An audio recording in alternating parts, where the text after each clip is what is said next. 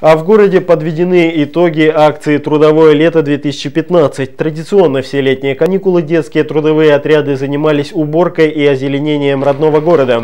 Как и в прошлом году, этим летом на благо Кунгура потрудились 550 школьников и студентов СУЗов. Самых активных и трудолюбивых ребят представители администрации и управления городского хозяйства наградили благодарностями и призами. Всего на сцене театра молодежи благодарность получили 65 активистов и 25 педагогов-организаторов. Стоит отметить, что этим летом объем выполненной работы стал еще больше. К тому же традиционно, кроме уборки города, ребята также приняли участие в церемониях открытия и закрытия фестиваля «Небесная ярмарка».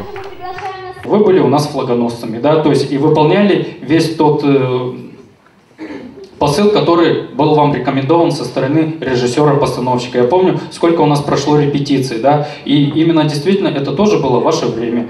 И именно за ваше понимание огромное вам спасибо. Ну, дорогие ребята, вам, конечно, тоже огромное слово благодарности за ваше терпение. Почему? Потому что мы помним, что лето 2015 года, оно, честно сказать, нас погода не баловала. В планах организаторов трудового лета в будущем году продолжать привлекать школьников к уборке родного города и увеличивать количество трудовых отрядов.